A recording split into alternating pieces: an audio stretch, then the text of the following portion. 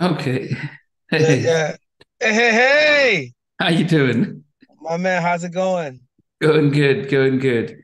So, Good to yeah, see you and good to hear from you. yeah, no, definitely. So, yeah, no, it's as I said, it's been it's been a while, and and and since we Yeah. it seems like quite a bit have happened with the guys. Uh, what's up with Troop these days? Oh man, um, Troop has uh well right now we're like on a promo tour of a lot of radio stations right now because we just released a new single, um, Lady of My Life, uh, a tribute to, you know, our boy, our mentor, Michael Jackson. You, So you remade it, or you, you made a version similar to it?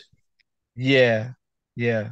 No, did you do the remake of the original one, or did you just did you did you? Yeah, the the remake Oh, of the original, yeah, the re remake of the original Michael Jackson's uh, from Thriller, Lady of My Life, with the twist on the end, a little bit of funny how time flies when you're having fun, a little bit of that up on the end of by Janet. Whoa. It's really cool. It's really cool. That's my all-time favorite song.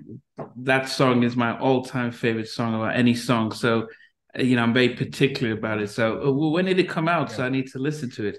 It it actually came out February 15th.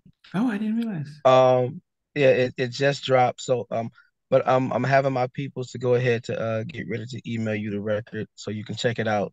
You know. Yeah. Is it is it available on Um, streaming services? So, because I'm sure we I definitely want to get. you know people. what I, I I believe so. I believe it's out now. I do believe it's out now. Troop Lady in My Life. Okay. Okay. Yeah. Yeah. If it comes across, I'll see it so I can start to push it and promote it. Are you, are you guys going to do Yeah, a great, video great, to great. it or anything? Well, we, yeah, we, we, we- we're talking about it right now. So right now we're just trying to just, you know, do a lot of the interviews on a, a lot of the radio stations here across the country, right here out in the US, doing a bunch of um, interviews, talking about it. Wow. You know, I mean, did, what is the um the plan when it comes to actually being on back on stage and and and touring? Well, I, our first, well, we actually been doing a lot of dates lately now. Uh, we just finished doing Dayton, Ohio, which was a it was a killer show with Jon B and Dru Hill. It was a great show. Uh, we're getting ready to do another show with Boyz II Men and um uh Oh Soul For Real. so for real, Uh, yeah. y- yeah, then we have we have some other things that are coming up. Uh, of, you know some more performances. We have to go back to Club Yoshi's uh in in uh San Francisco. We have to go back over to uh we- we're doing a Black Expo again this year, uh September 25th. Um, so yeah, we're just, you know, just getting in those dates and we're calling it the Back to Life tour. Okay, what do you mean by back to life? Just, you know, back on stage and back in front of our fans and just, you know, uh being personal with them and hanging out and, you know, and just back to life, you know. After during the after during the pandemic, did you what was the plan? Did you did, did you guys just sort of I won't say separate, but did you guys just go and do your individual things? Well, we were we were just like kind of like basically like a hit and miss type of situation because some of us had solo dates and then some of us and then we still had group dates. So we just kind of like worked the dates around within each other and not like really step on each other's toes. And when it was time to work on troop we worked on troop. And when it's time to just go ahead and do some solo stuff then we did the solo stuff. So uh we're, we're kind of like mixing them both in within just work per se but just you know doing the job and getting the job done. And when people call and secure a date for us to do a show that you know we'll go ahead and check out each other's dates and see what we're doing. And we'll go ahead and take the date go do the show and keep it moving. So I mean, when you guys think of um, so I interviewed um, I don't know if you remember him, DOA Allen. derek. Yeah that's our boy. Yeah that's our boy. He when I asked him because he'd done Rhythm Nation, he's toured with Bobby, Lionel yeah. Richie, everyone, and I and I said, so what was your favorite tour? And he said, without doubt, was the first tour with Troop. Was Hmm. his best tour ever. wow. It was a lot of fun. Yeah that's the that was the troop and keith sweat tour and sometimes along with dj Rob Base and Salt-N-Pepa and uh we took that tour and we were a good three to five months. On the and, bus, sometimes the bus will break down and everything. Yeah, yeah, uh, yeah. We had some bus problems a little bit, but we, you know, every we still got to our gigs and stuff that we had to do together, and um, we had we had a lot of good time.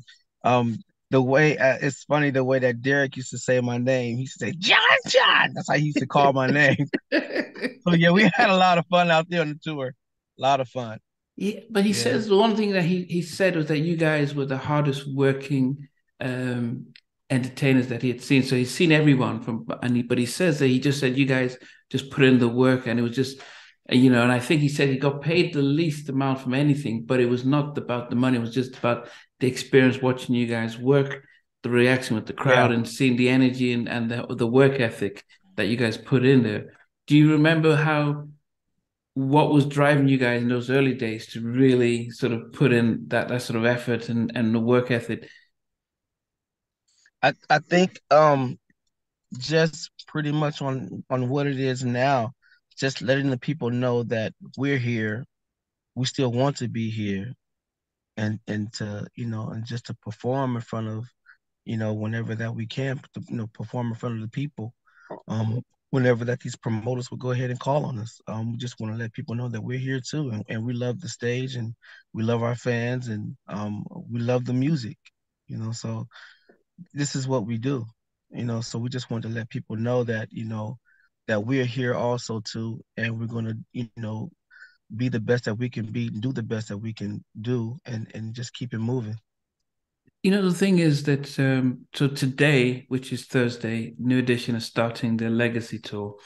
Yeah. And back in the, the those days i mean you guys were i want i don't were you guys ever considered rivals or what was or, or you more force md or what was the situation back in day? I'm just trying to go back a, a bit during your you know when Mamacita and and Spread Your Wings and all that was coming out, what was the with New Edition? Did, were, were you guys seen as rivals or, or friendly competitors, or how was it back then?